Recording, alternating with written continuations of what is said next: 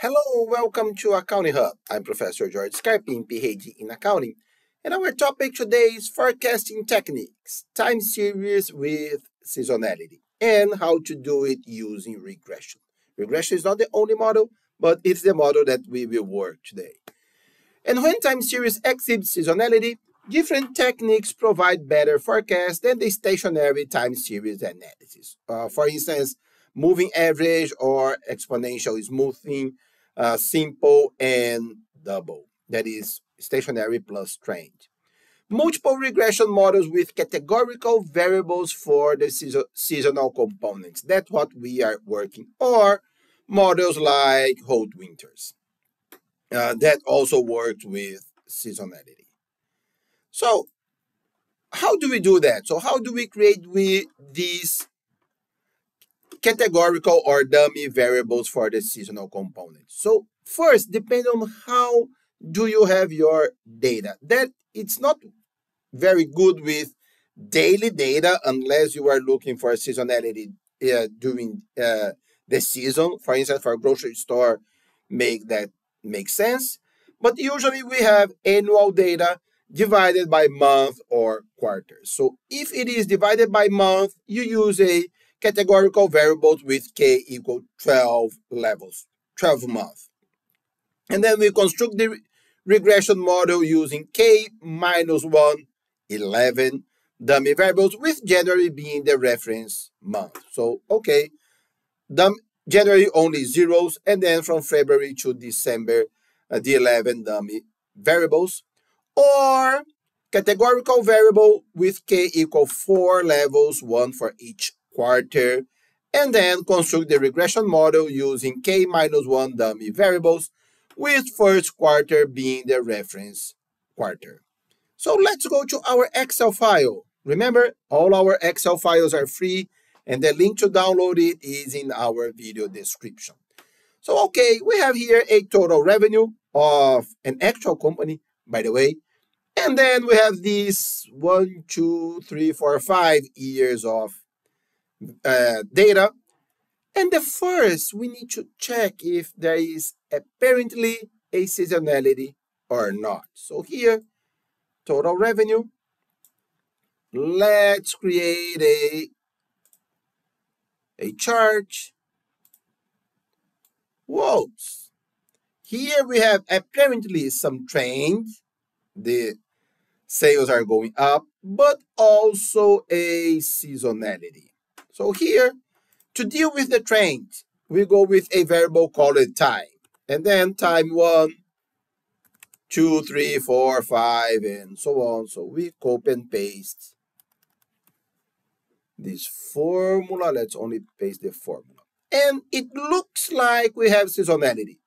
The quarter number 4, 8, 12, 16. So it looks like we have seasonality on the fourth quarter. So how do we do?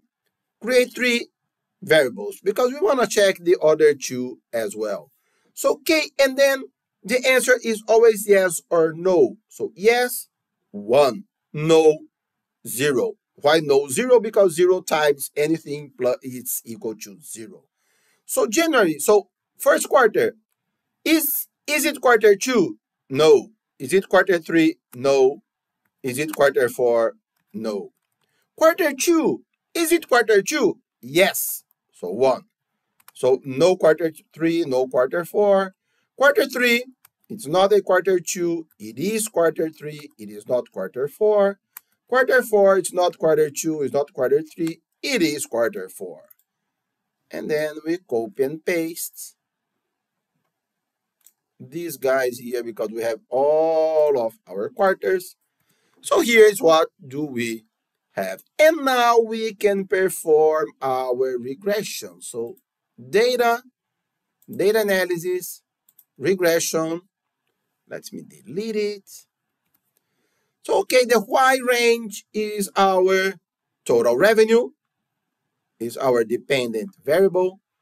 X range is the independent variable, so time plus the seasonality. And label, so let's call it regression. And then Okay, and let's rename here by data. So regression, what do we have here? Wow, very good model. R square and adjusted R square 0.97 rounding. So very, very good. And then let's go on time. That is the trend. P-value, very low. So below 0.05, that is the number that we usually work. Uh, quarter two and quarter three, not relevant. And okay, that is expected. Here we have only trains, so no peaks here. However, quarter four, as expected, a seasonality. So here a, a time. So we expect that our revenue increasing $2.7 thousand per quarter. However, on the fourth quarter, it will increase in approximately $12,000 or millions or billions, depending on the scale of this variable. So it's, by the way, it's on millions. So it is $2 billion and $11 billion. Very, very large company here. So yes, so we can use this as the trend for time, uh, as the trend, and the quarter for our seasonality. And then you can add more variables if you want a more accurate model and so on. So yes, we have here a seasonality or seasonal data, and that is how we deal with seasonality on using regression analysis. Interesting, huh? So guys, thank you so much for watching this video. And if you have questions or comments, just leave them here or email me. Have a very nice day and God bless you.